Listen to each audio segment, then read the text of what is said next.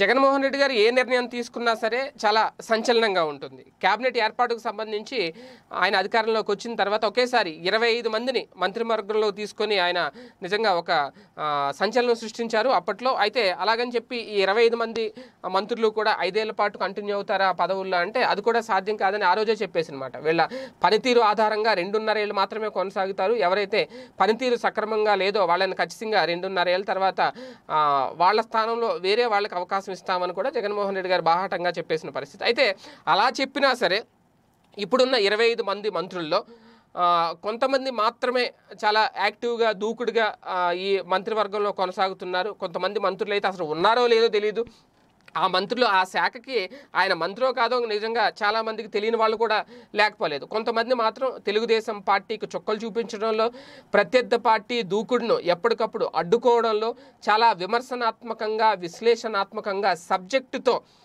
ప్రతిపక్షాన్ని దెబ్బ కొట్టడంలో ముందుకు వెళుతున్న మంత్రులు ఉన్నారు అంటే ఖచ్చితంగా ఉన్నారు. కొంతమంది ఉన్నామా లేదా అన్నట్టు ఏదో అవసరమైతే మేము ఉన్నామని చెప్పి చూపించుకోవడానికి అప్పుడప్పుడు మీడియా ముందుకు రావడం నాలుగు మాటలు మాట్లాడడం మళ్ళీ కనిపించకుండా వెళ్ళిపోవడం. ఇలాంటి వాళ్ళు కూడా ఉన్నారు. అంటే మొత్తం మూడు రకాల కేటగిరీల్లో ఇప్పుడున్న మంత్రుల్ని మనం విభజించవచ్చు అనమాట వాళ్ళ వ్యవహార శైలి లేదంటే వాళ్ళ పార్టీకి సంబంధించి చూసుకుంటే కనుక సో ఇటువంటి నేపథ్యంలో ఒక మొత్తం ఇరవై ఐదు మందిలో టాప్ మంత్రులు బాగా అద్భుతంగా పనిచేస్తున్న వాళ్ళు ఎవరు? నిత్యం మీడియాలో కనిపిస్తూ నిత్యం పార్టీ కోసం పోరాడుతూ నిత్యం చంద్రబాబు గారి మీద అలాగే ప్రత్యర్థి పార్టీ అయిన తెలుగుదేశం పార్టీ మీద నారా లోకేష్ గారి మీద ఎప్పటికప్పుడు విమర్శలు చేస్తూ ఎప్పటికప్పుడు చుక్కలు చూపించే ప్రయత్నం చేస్తున్న మంత్రులు ఎవరైనా ఉన్నారంటే నలుగురు పేర్లు వినిపిస్తున్నాయి ప్రధానంగా. అందులో ముందుగా వినిపించే పేరు కొడాలి నాని తర్వాత పేర్ని నాని ఆ తర్వాత నెల్లూరు మంత్రి అనిల్ కుమార్ యాదవ్ తర్వాత కాకినాడకు చెందిన కన్నబాబు గారు.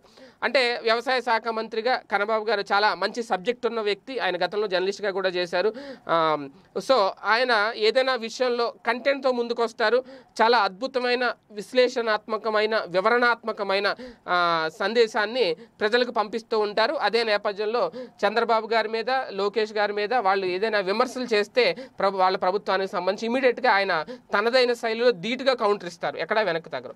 ఇక అనిల్ కుమార్ యాదవ్ ఆయన కూడా బీసీ సామాజిక వర్గానికి చెందిన మంత్రి అయిన నీటిపారుదల శాఖకు సంబంధించి ఆయన కూడా కొన్ని ఎప్పటికప్పుడు మీడియా ముందు కానివ్వండి లేదంటే అసెంబ్లీలో కానివ్వండి ఎక్కడైనా సరే ఆయన వెనక్కి తగ్గరు. ప్రతిపక్షం విషయంలో ప్రతిపక్షం విమర్శలు చేస్తుంటే చూ చూస్తూ ఊరుకుండే మనిషి అయితే కాదు. చాలా యాక్టివ్ రోల్ పోషిస్తున్నారు ప్రస్తుతం ఉన్న స- ప్రభుత్వంలో. అలాగే పేర్ని నాని గారు. ఇంకా ఈయన సమాచార శాఖ మంత్రిగా చాలా అద్భుతమైన పనితీరు కనబరుస్తున్నారని చెప్పాలి.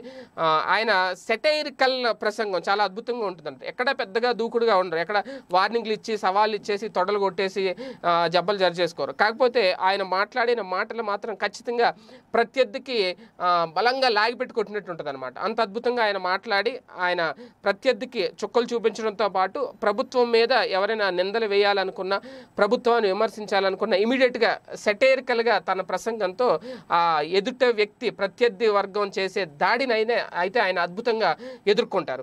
ఇక కొడాల నాని గారి విషయం ప్రత్యేకంగా చెప్పాల్సిన అవసరం లేదు. కొడాల నానిగారు ఎంత యాక్టివ్గా ఉంటారు? ఏంటి?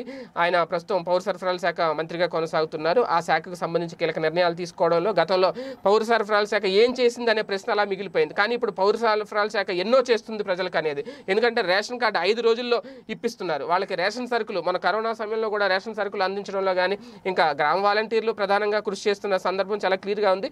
సో ఇటువంటి నేపథ్యంలో ఈ నలుగురు పేర్లు ప్రధానంగా వినిపిస్తున్నాయి. వీళ్ళతో పాటు ఇంకా అంటే మిగిలిన వాళ్ళు ఎవరు పనికిరారు వెళ్ళే పని చేస్తున్నారు అనేది కాదు. బుగ్గన రాజేంద్రనాథ్ గారు కూడా చాలా అద్భుతంగా ఆయన పనితీరు ఆయన కనపరుస్తున్నారు ఇంకా చాలామంది ఉన్నారు. అలాగని పనితీరులో వెనకబడిన వాళ్ళు కూడా ఉన్నారు. అయితే ఇప్పుడు ప్రధానంగా వినిపిస్తుంది వీళ్ళ నలుగురికి నెక్స్ట్ బెర్తలు ఖచ్చితంగా కన్ఫామ్ అవుతాయి. ఐదేళ్ళ పాటు వీళ్ళు కొనసాగే అవకాశాలు ఎక్కువగా ఉన్నాయి అనేది ఆ పార్టీ శ్రేణుల నుంచే ప్రధానంగా వినిపిస్తుంది. ప్రజల నుంచి కూడా వీళ్ళకి ఆ స్థాయి మద్దతు అయితే లభిస్తుంది అనేది కొన్ని విశ్లేషణలు చెబుతున్నమాట గనుక మీకు నచ్చినట్లయితే లైక్ చేయండి షేర్ చేయండి. మరిన్ని వీడియోస్ కోసం మా ఛానల్ను సబ్స్క్రైబ్ చేయండి.